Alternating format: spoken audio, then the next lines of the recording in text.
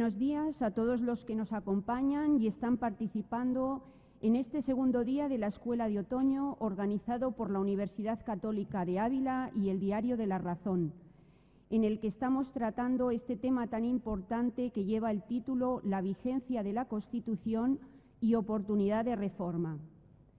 Con las claves que nos proponían ayer de razonamiento, discernimiento y espíritu crítico propio del pensamiento de la universidad, nos disponemos a comenzar este segundo día, que también será de mucha profundidad y de extraordinaria calidad e interés. Como primera ponencia presentaré a José Ramón García Hernández. No me siento digna de presentarle porque sé que aquí en Ávila es importantísimo, conocido y por su amor que tiene Ávila, pues es apreciado por todos, le llaman Joserra por tanto, yo humildemente pues me dispongo a decir alguna de sus múltiples cualidades y de su carrera diplomática y política. José Ramón García es diplomático de carrera, doctor en Ciencias Políticas por la Universidad Complutense de Madrid. Su tesis doctoral versa sobre el pensamiento del filósofo Edmund Burke y la respuesta liberal a la crisis de legitimidad política del siglo XVIII.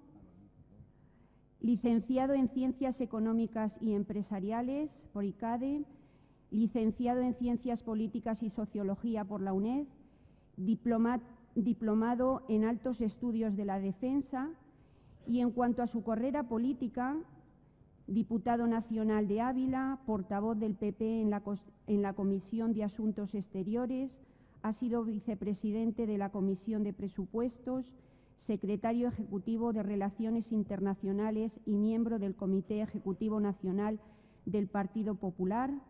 En la actualidad es vicepresidente segundo de la delegación española en la Asamblea Parlamentaria del Consejo de Europa.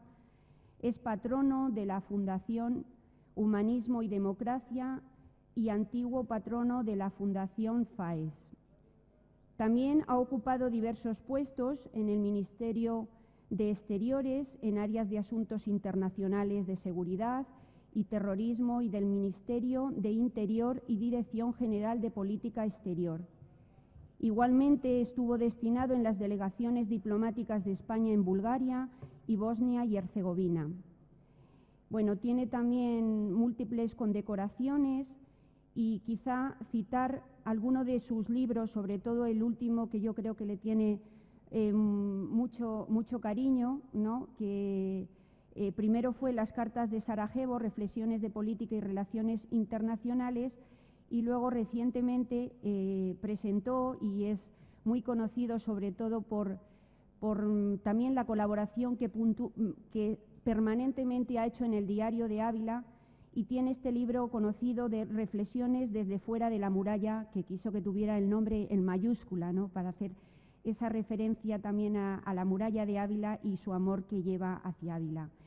Me consta también que, quiere llevar el humanismo cristiano a la, política y lo hace como, como él sabe hacerlo y eso también es digno de valorar. Así que sin más, pues le doy la, la palabra. Muchas gracias. Muchas gracias.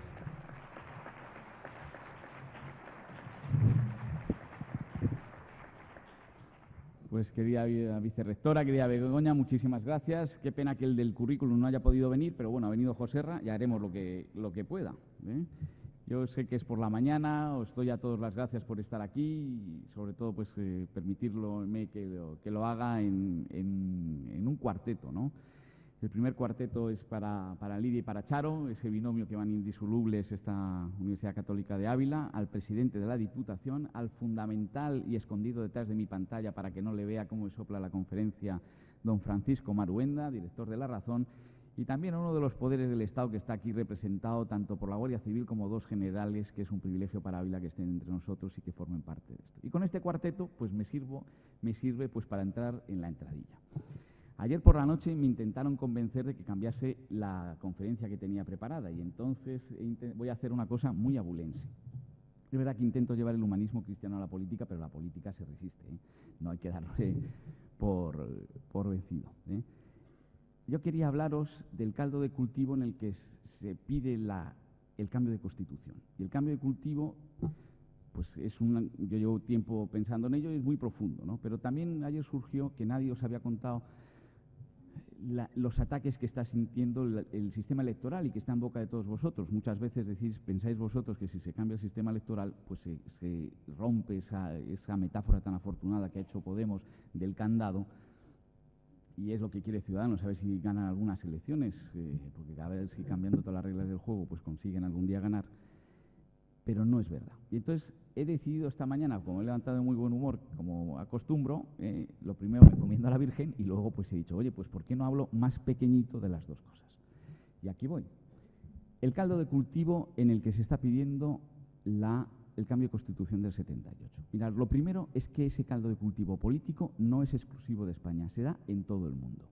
Y lo que se está dando es que está habiendo una transformación del populismo, y el populismo aquí en España se llama Podemos, pero os advierto, es de tal fuerza el populismo porque en el populismo hay una parte absolutamente nefasta, que es la simplificación de la realidad. Pero hay una parte extraordinaria y que es muy positiva, que es la sentimental. Enganchan con todas las aspiraciones, con toda la descripción de los problemas que tenemos todos en nuestra vida. Es verdad que tú lo centralizas en que el, verdadero problema son los políticos, porque ese es el interés de los populistas que tenemos en España, cambiar el sistema político porque son estructuralistas de poder, ellos quieren el poder, no quieren la democracia, quieren el poder, ya lo han demostrado en Venezuela, con una apariencia democrática, porque aprendieron mucho de sus errores del pasado. Ya no usarán la violencia y no se cargarán la democracia, no irán contra la religión, solo hay que verles cómo alaban al Papa Francisco, ni al ejército. Incluso tienen un general entre sus filas eh, que para remarcar esto. Lo hacen con una inteligencia proverbial, pero el populismo se ha acabado.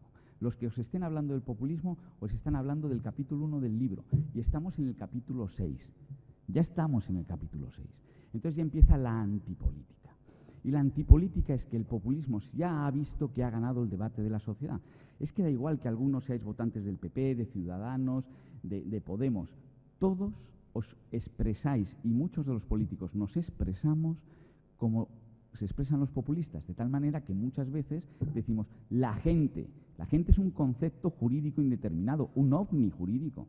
No existe la gente, existen personas, existe Jesús Manuel, existe Lidia, existe Begoña, pero ya todos hablamos como los populistas. Entonces, ¿cuál es el objetivo de esa transformación de los populistas hacia la antipolítica? La destrucción de las instituciones, vaciarlas de poder. Entonces, vosotros no os estáis dando cuenta pero habláis de las encuestas, las únicas fiables son las que, las que publica La Razón, habláis de las encuestas como si fuera una ley, como si de verdad es lo que estuviera. El 80% de los españoles están a favor del aborto. Sí, no, eh, veremos en los casos, veremos en los casos. El 60% de los españoles están a favor de los desfiles de las Fuerzas Armadas. Pues unos sí, otros... Por cierto, donde más se ve es en Cataluña, el, desfile de las Fuerzas Armadas. Esto es la antipolítica y es la que ya está aquí. Entonces, cualquier ciudadano, cualquier estudiante tiene que abrir bien los ojos porque el mecanismo es la demolición de las instituciones. Por eso uno puede ir a la cárcel a hablar con un preso de un golpe de Estado para negociar los presupuestos. Por eso, Albert Rivera ayer, que no se dio cuenta, pero tampoco creo que se lo sepa muy bien, dijo que el presidente del gobierno tenía que hacer lo que le había mandado el Parlamento. Ahí, por eso lo digo, fijaros qué sutil es y cómo ya hay populistas en todos los partidos, porque esto acaba con la separación de poderes. El Ejecutivo, aunque no me guste, no tiene que hacer lo que le diga el Parlamento. Eso sería un sistema asambleario antipolítico. Tiene el Ejecutivo, hace cosas y responde ante el Parlamento. Y el Parlamento hace leyes, que no es menor, pero no le manda al Ejecutivo. Entonces, estos son los dos objetivos que tiene la antipolítica. La antipolítica quiere la destrucción de las instituciones y, si no, abrir los ojos. Y ya está el mensaje. ya está instalado el acabar con la monarquía. Yo defiendo que es un biombo. O sea, a Podemos, a los antipolíticos, Podemos, Esquerra Republicana, el PDCAT, Bildu, en España. ¿eh? Si queréis puedo hablar, porque es que puedo hablar del Frente Nacional, puedo hablar de Alternativa por Alemania, puedo hablar del movimiento Cinco Estrellas, puedo hablar del movimiento de Salvini. Están en todas partes, del UKIP en el Reino Unido. Lo que quieren es acabar con las instituciones. La primera institución es la Unión Europea, que es la organización internacional más exitosa de la historia, pero quieren acabar con ella. La segunda es el comercio internacional, son los tratados de libre comercio, porque cuanto más pequeñas sean las entidades políticas, más difícil, más fácil es concentrar el poder, que es su único objetivo. Son estructuralistas de un señor que se llama Laclau. Como es un foro universitario, me permito decirlo, para que lo lean ustedes. No se hagan ustedes antimarxistas sin haber leído a Marx. Eh, claro que no hay quien se lea el Capital, pero inténtenlo. La siguiente de las instituciones, y esto ya pasa a España, es el, eh, el rey, la monarquía. Otras son las comunidades autónomas que eso usa otro populismo que está a la derecha, porque digo que hay populismos de todo. ¿De acuerdo? El siguiente es el sistema electoral. El siguiente es la creación de leyes y las fuerzas de las leyes. La siguiente, y fíjese si estamos allí, son la fuerza de las sentencias judiciales. Y entonces esos pilares en los que se basa una lucha centenaria por la democracia representativa están en crisis, porque la antipolítica lo está demoliendo. Y no todas estas instituciones no van a permanecer por la belleza de las instituciones, solo permanecerán por algo que sabía Julio César desde el principio de los tiempos, que lo dice fenomenal Res Warner. Julio César no tenía amigos, tenía partidarios. Y esta es la lucha que les toca a ustedes. Yo la estoy dando ahora, pero cuando me tenga que ir y alguien tenga que tomar el relevo, que sepa que ese es el caldo del cultivo en el que va a estar. Tendrán que decidir si se cargan las instituciones y entonces van a ese ejercicio del poder puro y duro o si las defienden, que es donde estamos sobre todo los liberales conservadores y humanistas cristianos. Y esa antipolítica necesita de la posverdad.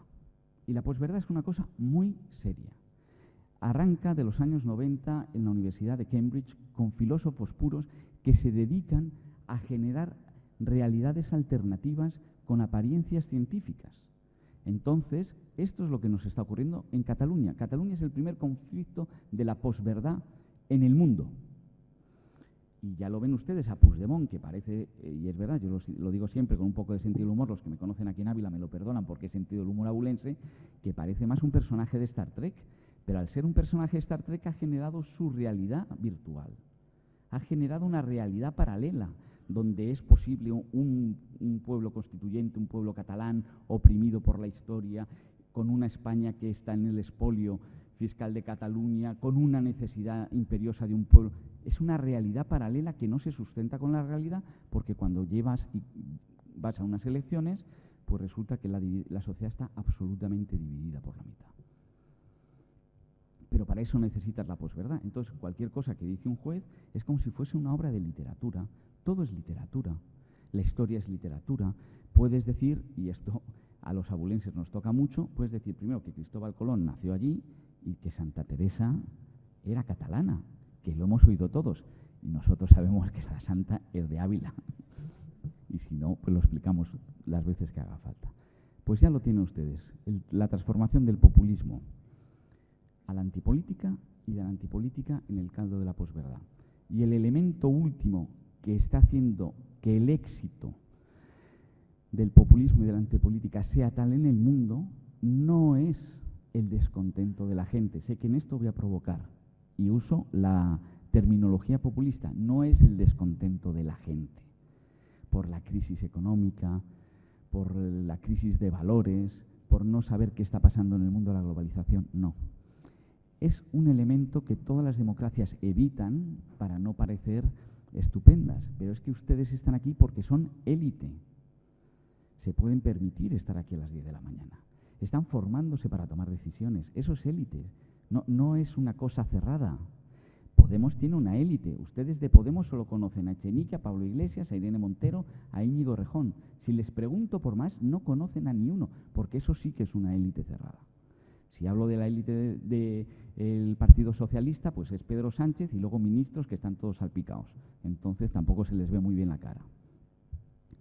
Si hablo de la élite del PP, a ustedes les salen muchos más nombres que cuatro personas. ¿De acuerdo? Pero es que hay un divorcio entre las élites. Y es la primera vez en la historia que ocurre que no hay comunicación de fines entre las élites privadas, las élites públicas, las élites culturales, las élites económicas y las élites sociales o de la sociedad civil. De tal manera que todo el mundo cabalga como llanero solitario para una consecución de sus fines y se rompe el diálogo y el establecimiento de fines conjuntos en la historia. Y ese es el gran éxito de la Constitución del 78. Entonces, como no quiero aburrirles mucho a todos, voy directo a lo que es el sistema electoral representativo. Me preguntaban antes de entrar si estamos en un momento crucial de la historia. Lo estamos. El que no sepa que nos está tocando vivir uno de los momentos más complejos de la historia de España, que abra los ojos. Es tan la presión para que cambiemos la Constitución del 78, de eso lo acertado de este, de este seminario, pero lo es por esa definición de los objetivos del populismo y de la antipolítica, no porque el marco de convivencia del 78 haya querido cambiar. ¿En qué se ven los rasgos históricos? Yo siempre cito dos, ejemplos. El primero es Pericles con su oración fúnebre que recoge Tucídides en la historia de la guerra del Peloponeso, que es el sentimiento de pérdida. Pericles está rodeado por los persas y le, le, encargan que todos aquellos que han muerto en la batalla, él dé la oración fúnebre, el mayor honor que daba Atenas, glosar a los muertos, decir por qué habían muerto. Y entonces él hace una definición de lo que es la democracia que ha pasado a la historia.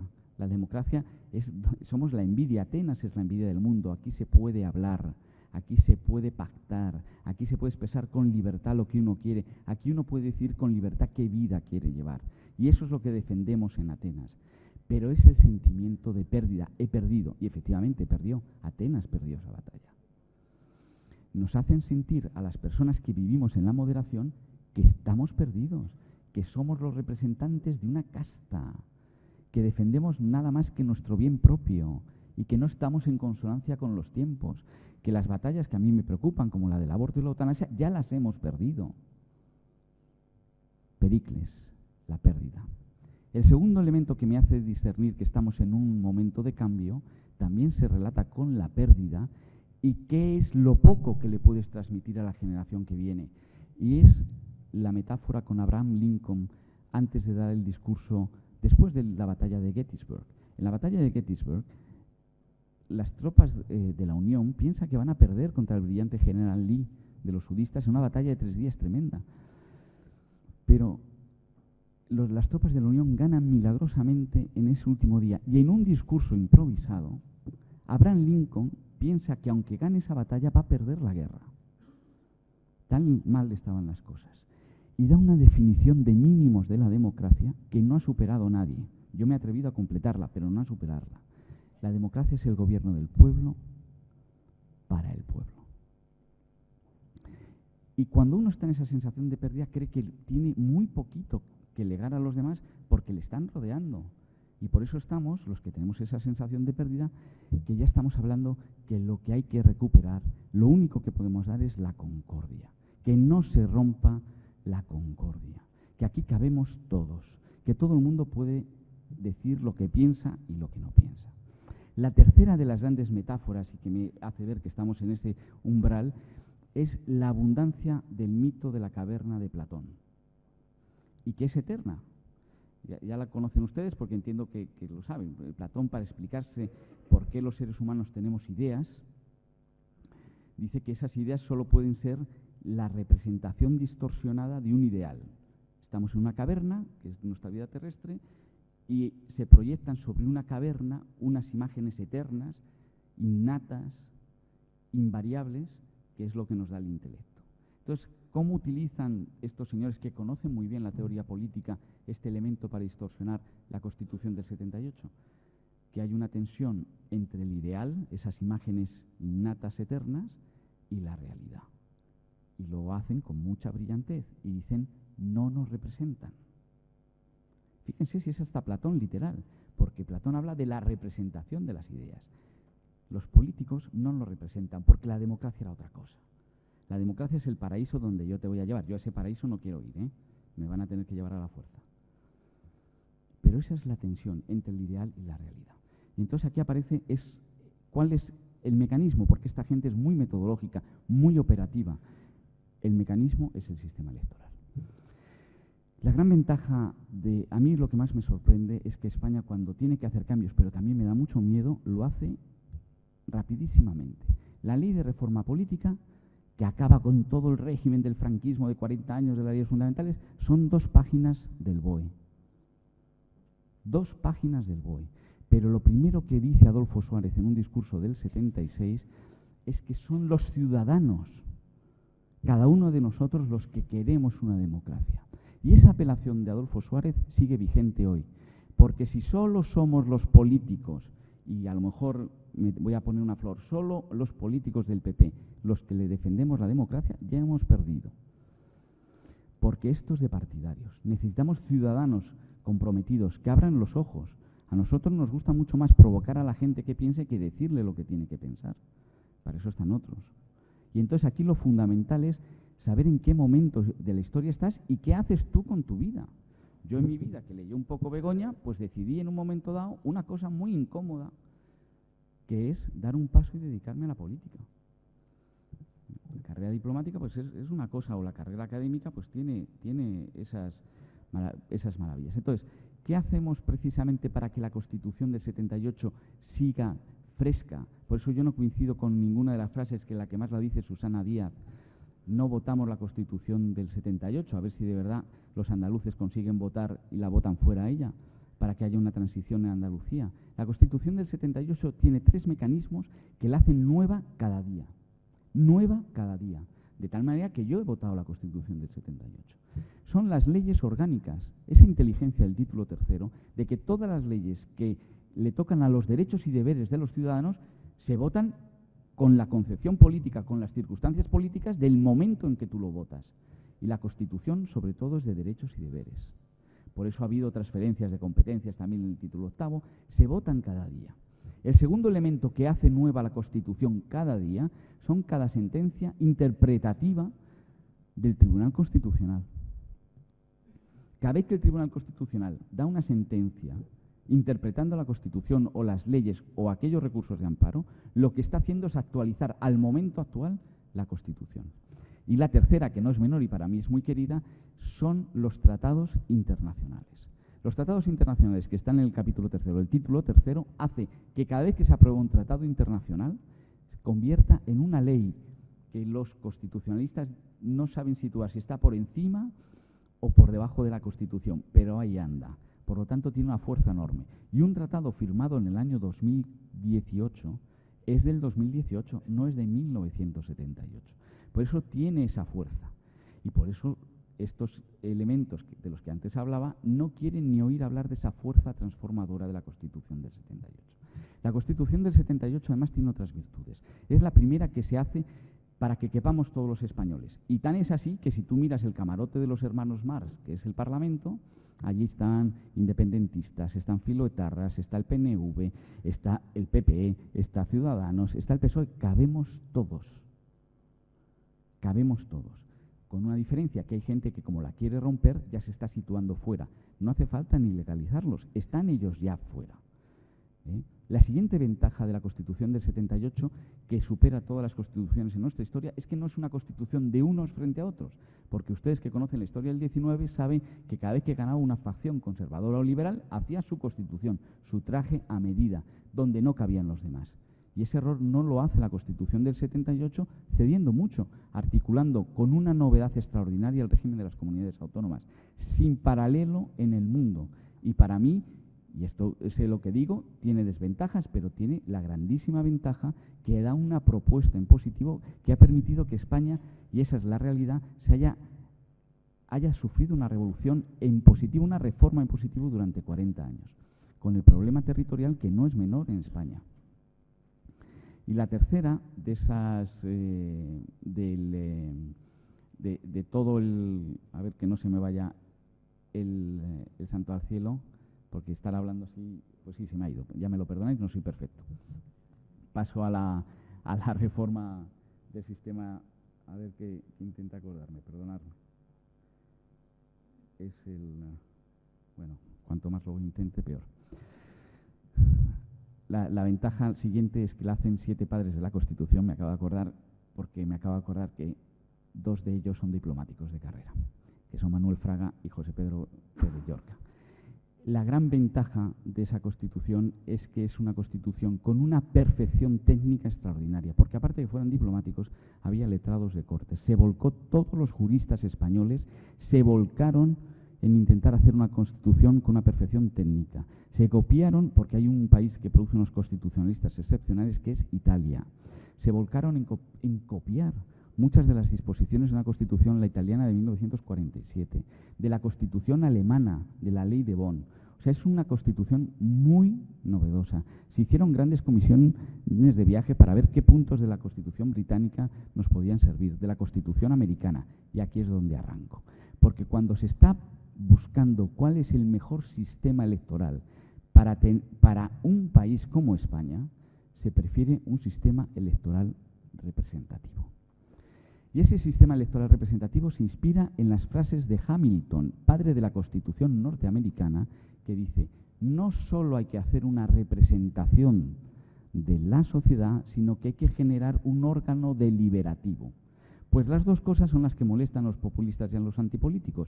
Algo que sea representación de los intereses de la sociedad y que sea deliberativo. La siguiente de, las frases por las que optamos nosotros es por enmarcarnos, y hay que mirar lo que es la España de ahora, en nuestro contexto regional. Y nuestro contexto regional son Francia, son Portugal, es el Reino Unido, es Alemania, es Italia. Nosotros no podíamos tener otro sistema que no fuera el proporcional, atenuado por circunscripciones, en un país donde tú tienes una innovación, que es las comunidades autónomas, con una realidad absolutamente consolidada, que son las provincias y las diputaciones provinciales.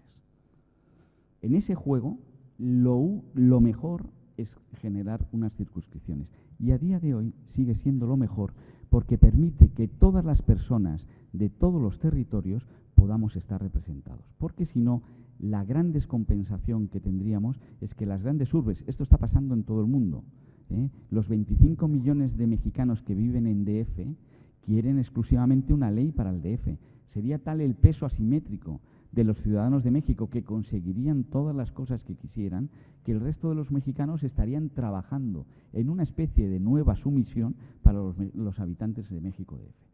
Y nosotros preferimos otra de las ventajas del sistema electoral que no les gusta a los que citaba antes, que es un equilibrio entre intereses entre ciudadanos y representado por los, eh, por los políticos. La cuarta de las ventajas es que es un sistema electoral reforzado, es decir, aquello que ha salido mayoritariamente votado es probablemente la opción que deba convertirse en la opción de gobierno. Si eso no te gusta, tienes dos mecanismos. Uno que habéis aprendido todos, que es la moción de censura constructiva, y otra es la cuestión de confianza. Y el tercero, por si fuera poco, es eh, la capacidad que tiene el presidente del gobierno, que espero que lo haga pronto, de convocar elecciones anticipadas. Fijaros que es un elemento de concreción que copia literalmente artículos de la Constitución francesa, de la Constitución alemana y de la Constitución italiana. Hay una frase muy afortunada del profesor Benigno Pendas que dice que la crisis de la, representación tiene más literatura que propuestas innovativas. Y otra de las frases más afortunadas la dice este señor al que dediqué tantos tiempos de mi vida, que es Edmundo Burke.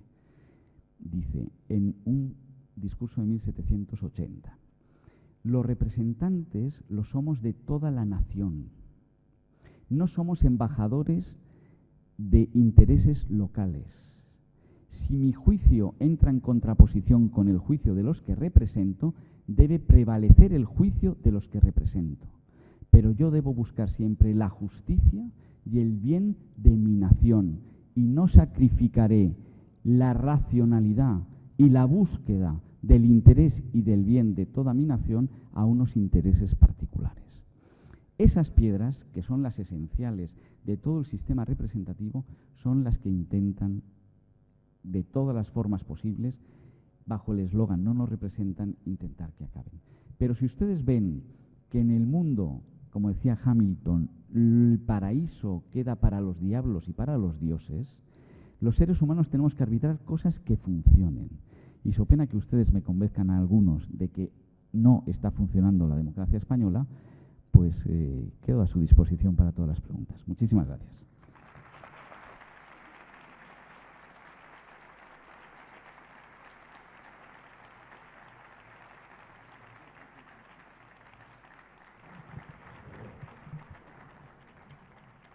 Pues muchísimas gracias, José, Joserra. Eh, agradecerte esa claridad con que nos has expuesto esa visión también internacional que tienes por haber estado también representando y estando en tantos países y esa claridad pues que nos va poco a poco todas estas ponencias que vamos escuchando haciéndonos reflexionar. Has participado, nos has puesto ya alguna de lo que tú querías comentarnos, eh, un poquito ya eh, un poco en la, en la brecha de lo que a lo mejor se puede entablar ahora un poco de diálogo Sé que, tiene mucha prisa porque la verdad es que le han llamado porque tenía que votar, pero ya ha dicho, esto tiene preferencia y aquí estoy, y si no puede ser, pues no puede ser. ¿eh? Entonces sí que a lo mejor hay posibilidad de eh, abrir un poco de diálogo y, tener ahora la ocasión de que nos pueda responder.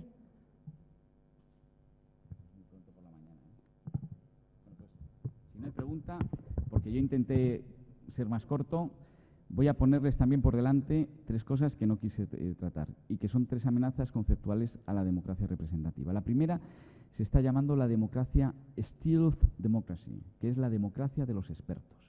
Es decir, cada vez hay, y parte de una premisa contraria, cada vez hay ciudadanos más preparados para entrar en política, pero la política es tan compleja que lo mejor es que un técnico, no un político, verá cómo le suena la música, se encargue de las decisiones. Eso es una sustracción a la democracia y está la tentación fuerte ahí. La segunda es hacer encuestas por todo el mundo de cuáles son las instituciones más valoradas por los ciudadanos. Yo, un café con leche al que me diga de entre ustedes qué país del mundo es el que más aprecia su Parlamento. China. China la gran democracia popular. 80% de ratio de aplicación.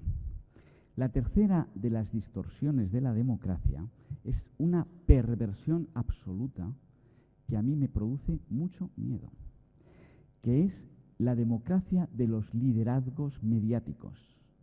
Aquí, si no sales en la televisión y ejerces tu liderazgo en la televisión, y me lo dice Arturo, que allí en Teleávila, en Ávila, en el Canal 8, pues está marcando quiénes son los líderes o no, no eres liderazgo. Aquí lleva a una simplificación del mensaje, a una construcción tremendamente de imagen y de telegenia de los líderes y por eso cada vez vemos que hay otro tipo de políticos que tienen una gran fragilidad, porque el día que ya no salen en la televisión, parece que su liderazgo menguó. Y con esto, que eran tres cositas que quería salir por delante, para que vean que el mundo está un poco complicado, ¿no? que los que estamos allá afuera pues hace un poquito de frío, que apoyen ustedes a los políticos que crean que son los que están entendiendo mejor el mundo y los que tienen ganas con humildad de que esto sea mejor, porque ese sentido de entregar el relevo, que es la gran definición de Burke de la democracia, como un pacto. Esto no es un contrato de alquiler, lo dice él con mucha gracia, no es un contrato de alquiler de vivienda, ni un contrato sobre la pimienta. Los fines en sociedad no se alcanzan en una generación. Hacen falta muchas generaciones. Fíjense una gran institución como la UCAP, la cantidad de años que lleva en Ávila. Por eso la democracia se basa en un pacto entre los que estamos, los que vinieron antes que nosotros y a los que damos el testigo que vengan detrás. Muchas gracias y con esto terminamos. ¿verdad, Begoña?